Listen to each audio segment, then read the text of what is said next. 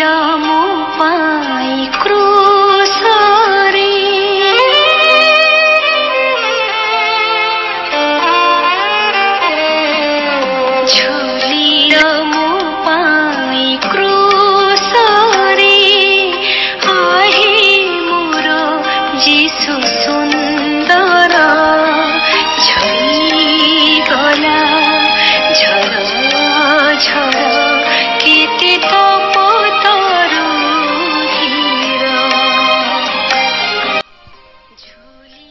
ପ୍ରିୟ ଭଉଣୀ ଓ ଭାଇମାନେ ଆଜି ହେଉଛି ତପସ୍ୟା କାଳର ଦ୍ୱିତୀୟ ଦିନ ତଥା ଭସ୍ମ ବୁଧବାର ପର ଗୁରୁବାର। ଆଜିର ବାକ୍ୟ ମାଧ୍ୟମରେ ଆମେମାନେ ଶିକ୍ଷା ପାଉଅଛୁ ଯେ ଖ୍ରୀଷ୍ଟଙ୍କଠାରେ ଜୀବନ ପ୍ରାପ୍ତ ହେବା।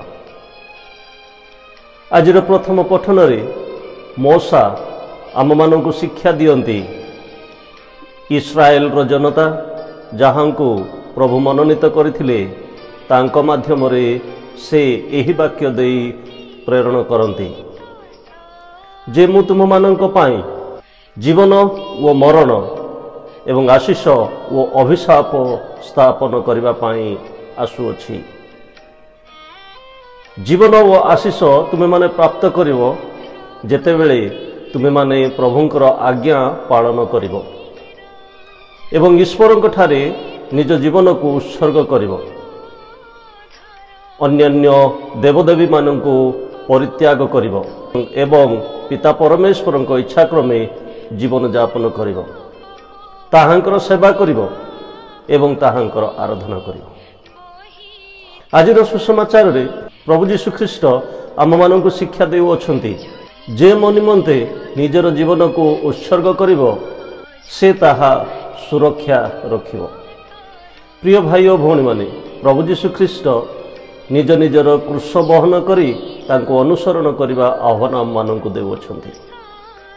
ସାରା ଜଗତକୁ ଯଦି ତୁମେମାନେ ଜୟ କରିବ ଏବଂ ନିଜର ଆତ୍ମାକୁ ହରେଇ ବସିବ ସେଠାରେ ତୁମର କ'ଣ ଲାଭ ହେବ? ଆମମାନଙ୍କର ନିତ୍ୟ ଜୀବନରେ ଆମେମାନେ ବିଭିନ୍ନ ରୂପରେ ଚିନ୍ତା କରିଥାଉ। ଯେ ମୁଁ ଜଣେ ସଫଳତାର ବ୍ୟକ୍ତି ହେବି ମୁଁ ଧନ ଅର୍ଜନ କରିବି ସମ୍ପତ୍ତିର ମାଲିକ ହେବି ଏବଂ ଆନନ୍ଦର ସହିତ ମୁଁ ଜୀବନଯାପନ କରିବି। ଇତିମଧ୍ୟରେ ଆମେମାନେ ଭୁଲି ଯାଇଥାଉ ପରମେଶ୍ୱର ଆମମାନଙ୍କୁ କେତେ ମାତ୍ରାରେ ଆଶୀର୍ବାଦ ଓ ପ୍ରେମ ପ୍ରଦର୍ଶନ କରିଅଛନ୍ତି। ଏହାକୁ ଆମେ ଭୁଲିଯିବା ନାହିଁ। ନିଜ ନିଜର କୃଷକୁ ବହନ କରିବାର ଅର୍ଥ ନିଜ ନିଜର ଦୁଃଖ ନିଜ ନିଜର କଷ୍ଟ ନିଜ ନିଜର ଯାତନାକୁ ଆମେ ଗ୍ରହଣ କରି ଈଶ୍ୱରଙ୍କଠାରେ ଭରସା ରଖିବା। ପ୍ରଭୁ ଯୀଶୁଖ୍ରୀଷ୍ଟ ଯେଉଁଭଳି ନିଜ ଜୀବନର କୃଷକୁ ବହନ କରି ଜଗତକୁ ପରିତ୍ରାଣ ଆଣିଦେଲେ ଆମମାନଙ୍କୁ ଆନନ୍ଦ ଦେଲେ ଏବଂ ଆମମାନଙ୍କୁ ରକ୍ଷା କଲେ ଠିକ୍ ସେହିଭଳି ଆମେମାନେ ମଧ୍ୟ ଆମମାନଙ୍କର ନିଜ ନିଜର ରକ୍ଷାକର୍ତ୍ତା ହେବା। ଆମମାନଙ୍କର ତ୍ୟାଗ ମାଧ୍ୟମରେ ଆମେ ଅନ୍ୟମାନଙ୍କର ସେବା କରିପାରିବା। ଏବଂ ଈଶ୍ୱରଙ୍କ ପ୍ରେମ ଅନ୍ୟମାନଙ୍କୁ ଦେଖାଇ ପାରିବା। ଆସନ୍ତୁ ଆମେ ପ୍ରାର୍ଥନା କରିବା। ହେ ପରମେଶ୍ୱର ଯଦି ମୋ ଜୀବନରେ ଆନନ୍ଦ ପ୍ରାପ୍ତ କରିବା ପାଇଁ ତୁମକୁ କେବେ କଷ୍ଟ ଦେଇଛି ଯାତନା ଦେଇଛି ମୋ ପ୍ରତିବାସୀଙ୍କୁ ଅବହେଳା କରିଛି ମୋତେ କ୍ଷମା କର ଏବଂ ତୁମର ପ୍ରେମର ବାହୁରେ ମୋତେ ସୁରକ୍ଷା କର। ଆମେନ୍।